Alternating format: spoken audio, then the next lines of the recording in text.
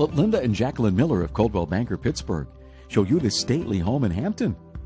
This is one of the most comfortable homes you'll ever find.